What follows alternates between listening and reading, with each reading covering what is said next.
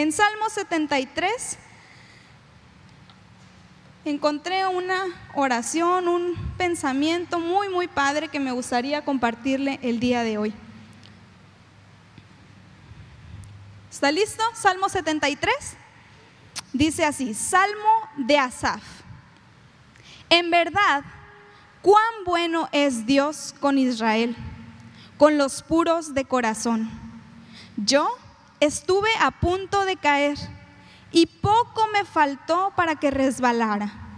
Sentí envidia de los arrogantes al ver la prosperidad de esos malvados.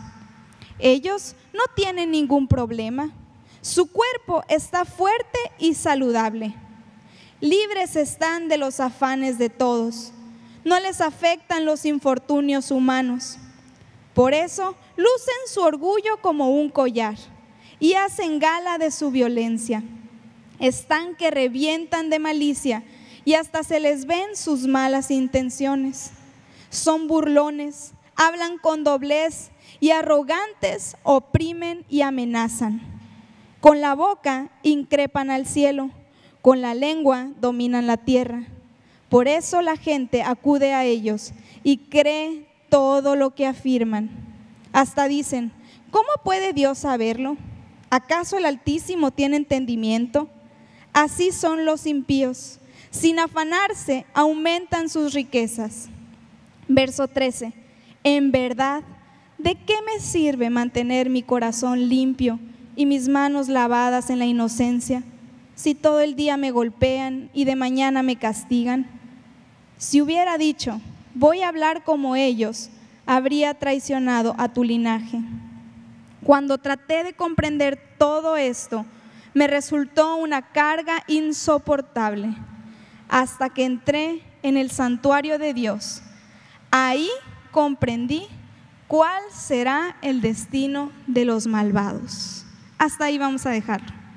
Oramos para que esta mañana Dios nos hable, Dios trabaje en nuestro corazón, en nuestra mente y que esto que vamos a estudiar el día de hoy pues traiga un verdadero fruto. ¿Me acompaña? Señor, muchas gracias por tu palabra. Gracias porque hoy domingo nos podemos reunir la familia amistad, Señor, a estudiar tu palabra, a darte gracias por lo que has hecho en nuestras vidas, Señor, y aprender un poquito para que pueda traer frutos a nuestra vida, Señor.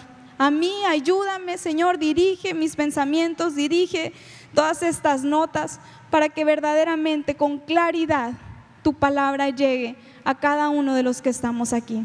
En el nombre de Jesús. Amén. Amén. Bueno, normalmente los salmos están, se cree y se le atribuyen que fueron escritos por David, es el más famoso de los salmistas. Y normalmente si oímos que un salmo, pues fue de David, ¿verdad? Pero la verdad es que los salmos fueron escritos por varios autores. Uno de ellos fue Salomón, otros fueron los hijos de Coré, otro fue Moisés. Pero este salmo que estamos estudiando el día de hoy fue escrito por Asaf. Ahí dice, Salmo de Asaf. Y bueno, ¿quién era Asaf? ¿Por qué escribió salmos? ¿Por qué tuvo ese privilegio, ese honor de escribir salmos? Asaf era el director general de los cantos, de la alabanza, de la música del templo de Dios. Asaf todos los días estaba en la presencia de Dios, en el templo, componiendo cantos, escribiendo música, para que todos pudieran entonar juntos alabanzas a Dios en el templo. Ese era Asaf. Yo cuando estaba chiquita, me acuerdo que pues pasábamos mucho tiempo aquí antes, pues si mis papás estaban aquí, nosotros teníamos que estar aquí, estábamos chiquitos, no nos podíamos ir o, nos podían dejar solos, pues no. Y yo siempre decía, deberíamos de, de tener aquí en amistad unas camas, una sala, una estancia, televisión. Yo quería hacer mi casa aquí, ¿verdad? Porque pues aquí pasábamos tanto tiempo, por lo menos una regadera para darme un chapuzón después y descansar. Y es que qué padre, ¿verdad? Estar tan cerca de la presencia de Dios en el templo, vivir en la casa. Eso era Asaf. Asaf vivía en el templo. Hay gente que, tiene sus casas lejos de aquí de amistad y, y tratan de venderla para comprar una más cerquita, para estar aquí, para poder venir los miércoles, para poder venir en la mañana a las 7, a las 8. Asaf ya tenía ese privilegio. Él siempre estaba en el templo de Dios, escribía salmos, escribía cantos. Su nombre sabe qué significa Asaf, el que reúne gente. De verdad, con su dirección, con su puesto, reunía a la gente a cantarle a Dios. Ahorita en la alabanza, ¿a poco no disfrutó ese tiempo de cantarle, de decirle esas letras a Dios? Eso era lo que hacía Asaf. Reunía a la gente a alabar a Dios. Pero entonces llega este salmo que me saca de onda. Porque dice en el Salmo 73, yo estuve a punto de caer y poco me faltó para que resbalara. Dice ahí en el verso 2, yo estuve a punto de caer y poco me faltó para que resbalara. El director de alabanza, el que pasaba todo su tiempo en el templo, el que disfrutaba de la presencia de Dios, el que reunía a la gente a alabar al Dios altísimo, al único Dios, estuvo a punto de tirar la toalla. ¿Nos podrá pasar eso a nosotros? Nos podrá pasar eso de estar a punto de tirar la toalla con Dios y de decir, ya estuvo bueno. Todo va bien, vamos caminando en tierra firme, caminando en un camino seguro, derecho y recto. Y de repente un pensamiento, una tentación chiquita aparentemente, y nos puede llevar a poner un pie en el precipicio, punto de caer, dice que estaba Asaf. ¿Qué le pasó a Asaf? ¿Cómo llegó a estar con el pie en el precipicio, de estar tocando la misma presencia de Dios? ¿Cómo cayó? Con un pensamiento, una tentación chiquita que le cruzó su cabeza. Por lo tanto, el día de hoy Vamos a estudiar este mensaje y el título es, conocerán la verdad y la verdad nos hará libres. Lo repetimos, conocerán la verdad y la verdad nos hará libres. Ahora ustedes, una, dos, tres. Otra vez, una, dos, tres.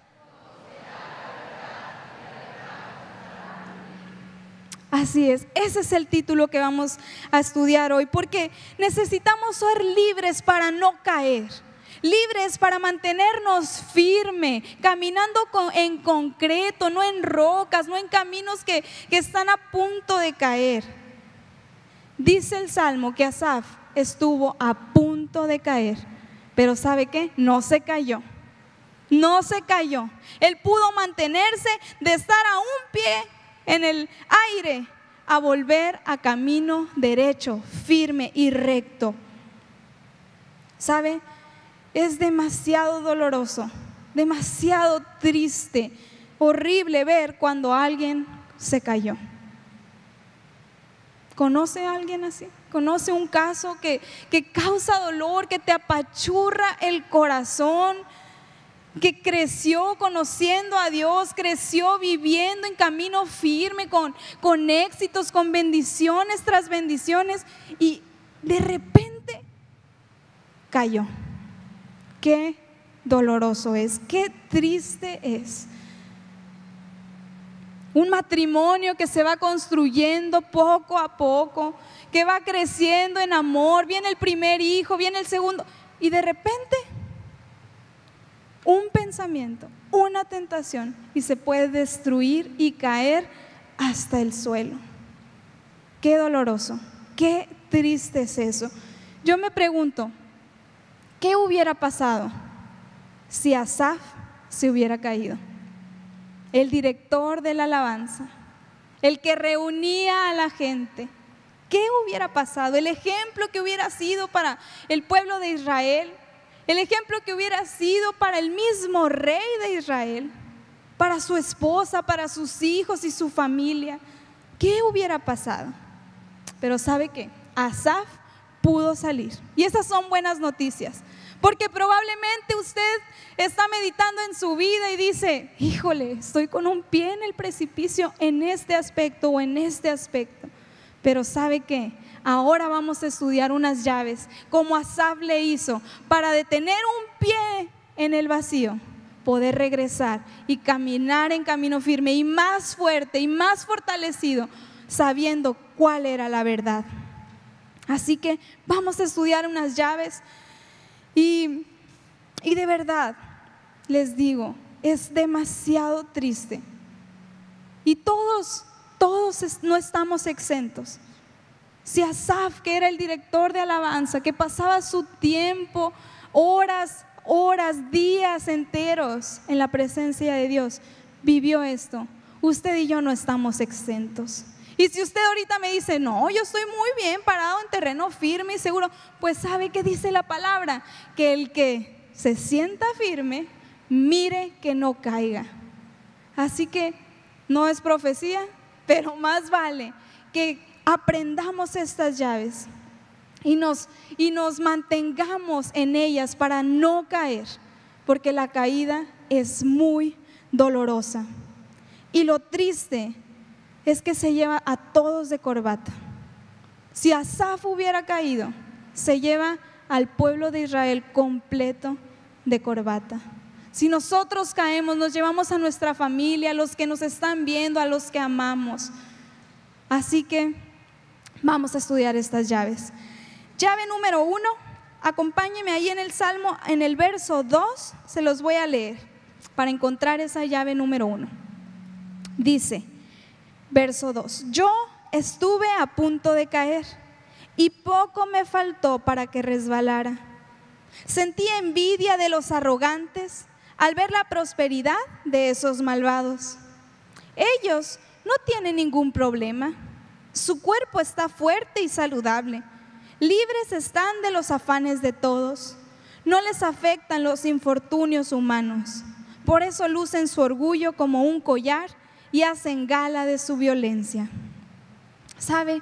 Asaf empezó a pensar, empezó a hacerse preguntas en su mente, ¿por qué a ellos, a los malvados, a los que están haciendo las cosas mal, les va tan bien?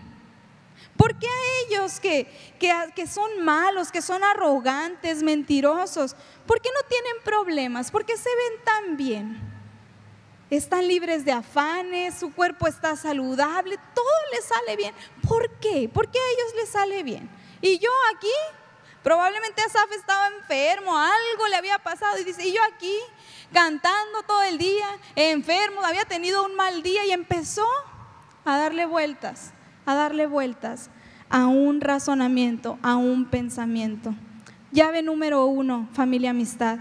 No permita que sus pensamientos se conviertan en veneno.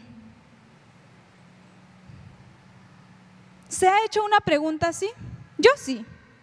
Yo sí he pensado, ¿por qué a ese artista que, está haciendo todo mal, que está haciendo todas las cosas mal, que, que es malvado, que es perverso, que va totalmente en contra de lo que yo sé que viene en la Biblia, le va tan bien, es rico, es famoso, ve sus, sus vidas lujosas, ¿por qué les va bien? Yo sí me he hecho esa pregunta. ¿Usted se la ha hecho? Es normal. ¿Y sabe qué? No está mal, nosotros nos, nos, podemos hacer preguntas. Las preguntas que queramos, los pensamientos que queramos son válidos. A Dios no le molesta que usted y yo tengamos esas preguntas en nuestra cabeza. El problema es cuando dejamos que esos pensamientos, que esas preguntas se conviertan en veneno y empiecen a ocupar el 100% de nuestra mente y el 100% de nuestro tiempo. Y entonces digamos como Asaf, sentí envidia y ya era algo que se había pasado de acá a acá y estaba envenenando su vida. No permita no permita que esos pensamientos, esas preguntas que a veces nos hacemos, que son válidas, se conviertan en veneno. Es muy doloroso la caída y este es el primer paso. Dejamos que esos razonamientos, que esas preguntas y pensamientos abarquen el 100% de nuestra mente. Y ahí está el problema. No está mal hacerse las preguntas.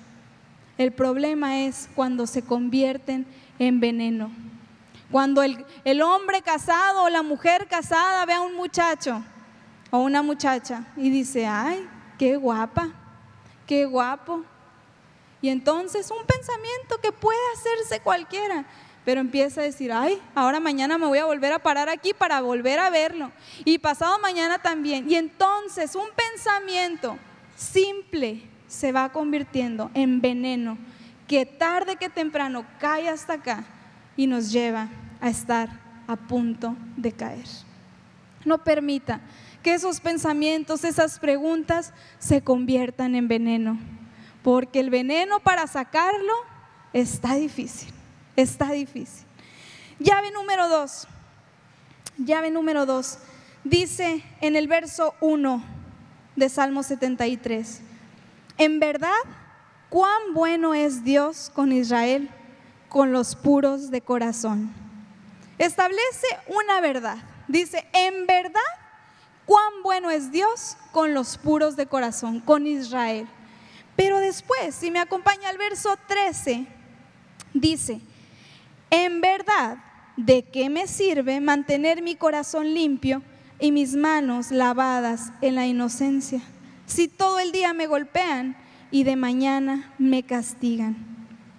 Llave número dos, no cambie verdad por mentira. Asaf empezó estableciendo una verdad, pero conforme el salmo iba avanzando, cambió su verdad por una mentira, diciendo que era una verdad. Del verso 1 al 13 cambió su verdad, cambió su firmeza, cambió donde estaba parado, su roca. Y ya la verdad era, ¿de qué me sirve mantener mi corazón limpio? Sabe, a mí me impacta mucho la noticia de Bruce Jenner. La he escuchado porque está en todas las noticias, no, ni siquiera nomás en los espectáculos, en todos lados está la imagen de Bruce Jenner que, que cambió ahora a Caitlyn Jenner. Cuando nació Bruce Jenner, imagínense la fiesta, toda la familia, nace el bebé, ¿qué dijeron? Es un niño, es un varón toda la familia pensando cómo le vamos a poner, se va a llamar así, bueno, se va a llamar Bruce, es un varón, la alegría, todo comprando su ropita azul, comprando sus juguetes de niño, es un niño. Conforme va creciendo Bruce Jenner y su voz va cambiando, ¿qué decían? Es un varón. Yo creo que si contestaba el teléfono se oía, bueno, y todos, ah, es Bruce, es un varón conforme fue creciendo. Después llega a tener esos éxitos como, como atleta. ¿Y qué decía la televisión? ¿Qué decían en las Olimpiadas? ¿Quién se ganó la medalla? Bruce Jenner, un varón que competía en las competencias varoniles, porque era un varón. Todos sabían que era un varón. ¿Y ahora? Ahora la noticia de hace un mes, dos meses, no, no era varón, era mujer. Cambió una verdad que estaba establecida por 65 años por una mentira. Y ahora es la noticia número uno en los espectáculos. Ahora es la fama, el dinero, la honra, el reconocimiento. Y cambió una verdad por una mentira. El problema aquí es que una mentira, por más personas que la crean, por aunque el mundo entero la crea y el mundo entero le aplauda, le reconozca y se le den premios, jamás será una verdad. Una mentira que todo el mundo la crea, jamás será una verdad. Aunque el mundo entero le entregue reconocimientos ahora a Caitlyn Jenner, cambiará la verdad de que él es Bruce Jenner. Porque sabe qué? Un día va a haber un juicio. Un día dice la Biblia que va a haber un juicio y que por nombre nos van a llamar uno por uno. Y cuando digan Bruce Jenner, aunque él se aferre a su nuevo nombre, el que será juzgado va a ser Bruce Jenner porque Dios lo creó varón. La verdad, aunque las mentiras, aunque todo el mundo las crea, y yo me engañe a mí mismo y me aferre a esa mentira, siempre será mentira, jamás va a ser una verdad. Otro ejemplo, prácticamente miles de años se creyó que la tierra era plana. La gente daba su vida, juzgaba al que se atrevía a decir que no era así. Fueron generaciones enteras que nacieron, vivieron y se murieron creyendo que la tierra era plana. Para usted y yo qué sencillo saber, ¿verdad? Que la tierra es redonda. Lo hemos visto en fotos, así nos lo enseñaron, pero generaciones enteras se murieron creyendo que la tierra era plana tarde que temprano la verdad sale a la luz. Tarde que temprano la verdad se abre paso. Y esa es la cosa con la verdad. Siempre, absolutamente siempre sale a la luz. Conmigo o sin mí. Con usted o sin usted. La verdad sale a la luz. Y sabe, hay mentiras curiosas y, y hasta simpáticas. Yo creo que ya lo he contado alguna vez, pero nunca se me va a olvidar un niño que llegó a Amistad Niños un domingo y pues yo trato siempre de aprenderme los nombres de todos los niños y saludarlos por nombre. Y, Hola Emiliano, le digo, ¿cómo estás? Y muy serio me volteé a ver y me dice, ya no me llamo Emiliano. Y yo, adiós, el niño tiene cuatro años. Ahora, ¿cómo te llamas? Le digo, ahora me llamo Turbo. Y yo, ok. Pues es una mentira simpática, ¿verdad? El niño cree que se llama Turbo y cambió su verdad porque ahora se llama Turbo. Yo también me acuerdo de Isaac, mi hermano. Cuando era chiquito, en mi casa siempre le decíamos Isaac el valiente. Mi papá era, ¿quién eres? Isaac el valiente. Y él se emocionaba y era Isaac el valiente, Isaac el valiente. Entonces en la escuela, cuando le preguntaban cómo se llamaba, pues ¿qué creen que decía? Isaac el valiente. Entonces una vez la maestra le mandó una notita a mi mamá, señora Elizalde, favor de decirle a su hijo que se llama Isaac Elizalde, no Isaac el valiente. Pero es una verdad simpática, ¿verdad? Es, es una mentira simpática, perdón. Tarde que temprano la verdad salió a la luz, se abrió el paso y ahora Isaac es Isaac y Turbo es Emiliano, ¿verdad? Pero hay verdades Digo, hay mentiras que lastiman nuestro corazón, que lastiman nuestra vida cuando se abren pasos. Hay mentiras que, hay creencias, hay costumbres, hay pensamientos a los cuales nos aferramos usted y yo, que cuando la verdad salga, que cuando la verdad se abra paso, va a haber mucho dolor. A veces yo me encuentro con, las generaciones nuevas que, que quieren con esa rebeldía, con esa necedad de establecer sus verdades por encima de lo que Dios dice, por encima de lo que sus padres dicen. Y, y algo simple como, papá dice, no vas a la fiesta. ¿Y qué dice el hijo? Es que en verdad van a ir puros amigos, en verdad va a estar todo tranquilo, papá, en verdad va a estar todo bonito. ¿Y cuántos hijos no han regresado a su casa de una fiesta? ¿Cuántos hijos han sido asesinados, violados en una pequeña y simple, en verdad, una simple fiesta. No nos conviene cambiar la verdad por mentira. Es muy doloroso. Es muy doloroso cuando, cuando la verdad sale a la luz y nosotros no estábamos con ella. La verdad, tarde que temprano, se abre su paso. Conmigo o sin mí. Más vale acercarme a ella desde, desde ya. Y llave número tres, ya casi terminamos. Dice en el verso 16, cuando traté de comprender todo esto, me resultó una carga insoportable hasta que entré en el santuario de Dios. Ahí comprendí cuál será el destino de los malvados. Llave número 3. Aparte sus tiempos para ir con Dios. Aparte sus tiempos para ir con Dios. Dice en Juan 8:31, Jesús se dirigió entonces a los judíos que habían creído en él y les dijo, si se mantienen fieles a mis enseñanzas, serán realmente mis discípulos y conocerán la verdad y la verdad los hará libres. Jesucristo es la única verdad. En Juan 14, 6 dice, yo soy el camino, la verdad y la vida.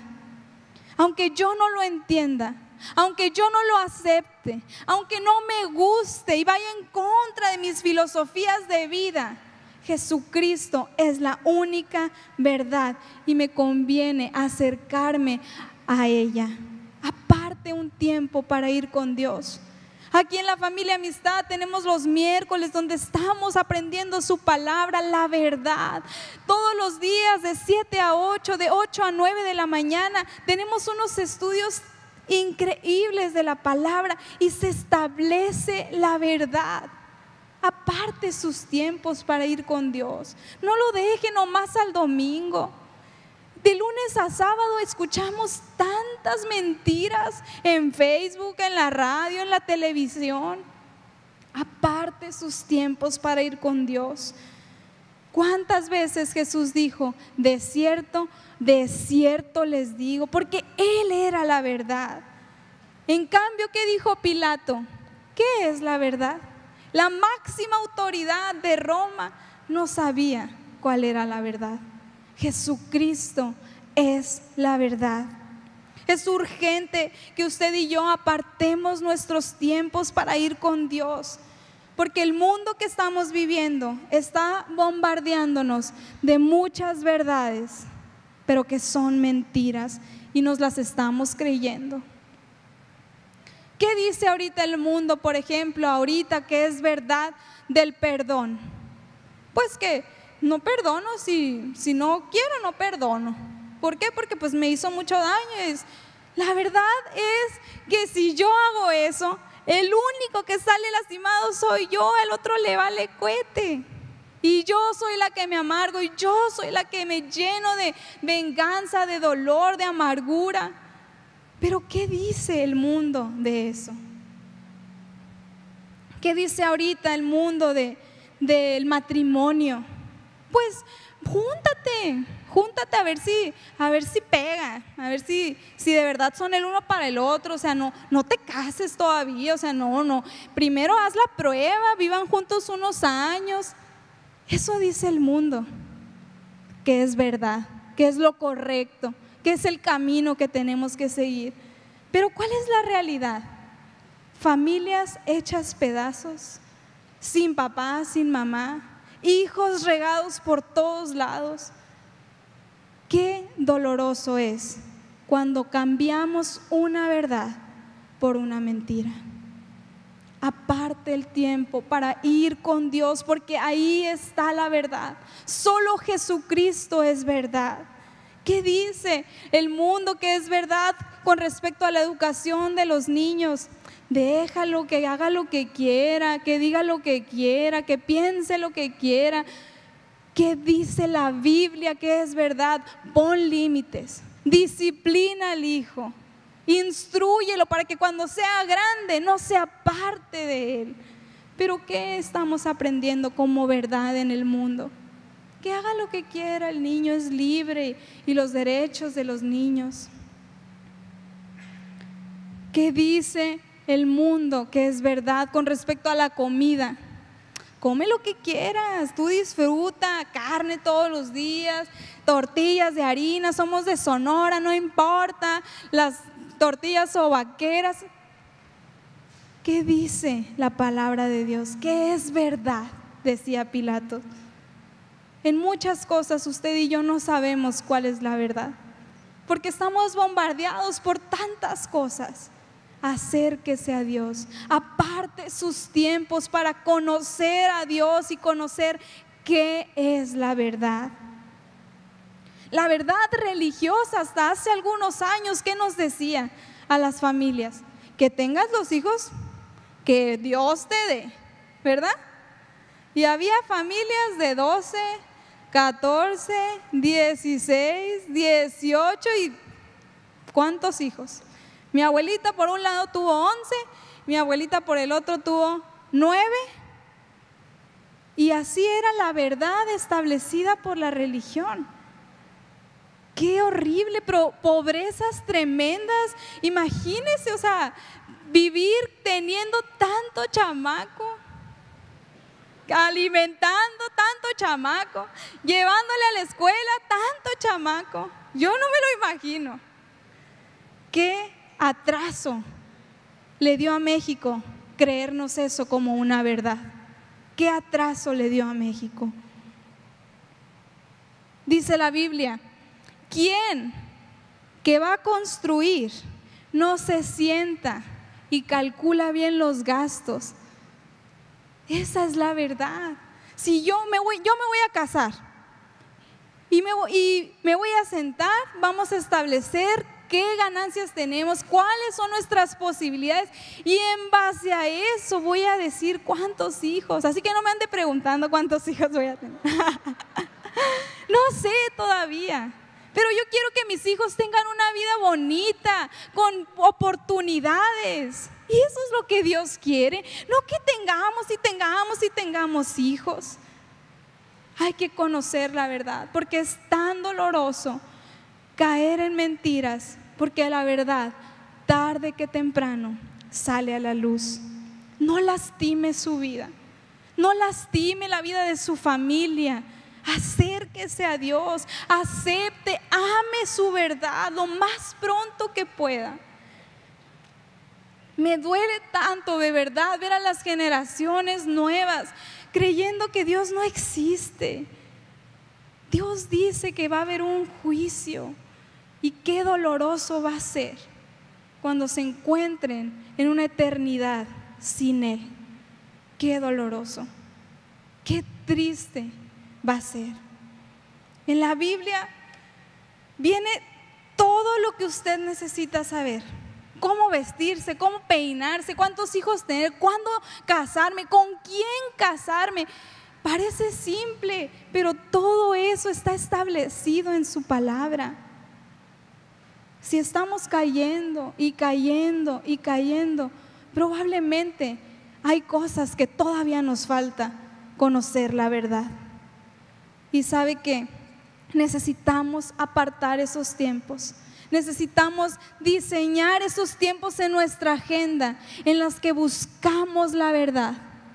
Porque yo no sé usted, pero si usted tiene Facebook, todos los días va a leer al menos 20 mentiras que se creen como verdad. Al menos. Filosofías, ideas de un vago que ni quien nadie conoce, pero ya lo dijo tal persona. ¿Sabe que necesitamos apartar nuestros tiempos para buscar la verdad? ¿Y sabe qué? Usted tiene una de estas. A ver, levántela. Aquí está la verdad.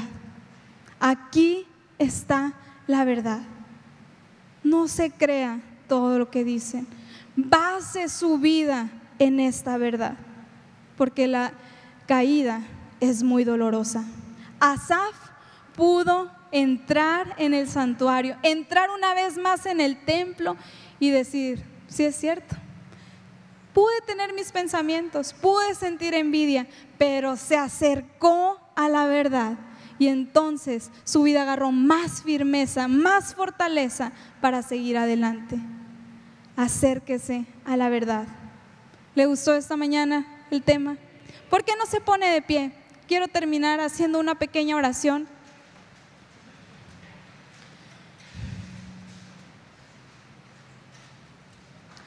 Yo le decía hace unos minutos, nadie estamos exentos, absolutamente nadie. Hay muchas cosas que, en las que hemos basado nuestra vida, hay muchas costumbres, hay muchos pensamientos todavía que necesitan la verdad de la palabra de Dios en nuestra vida. Así que cierre sus ojos y vamos a hacer esta pequeña oración. Repita conmigo, Señor, Gracias por permitirme escuchar tu palabra esta mañana. Te ruego que me perdones tantos años de mi vida que he vivido, creído y aceptado tantas mentiras en mi vida.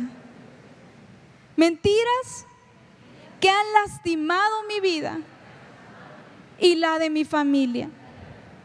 El día de hoy decido acercarme a ti porque tú eres el camino, la verdad y la vida. Y te entrego mi corazón para que seas tú quien lo dirija en la verdad. En el nombre de Jesús. Amén. Amén. Puede tomar su asiento.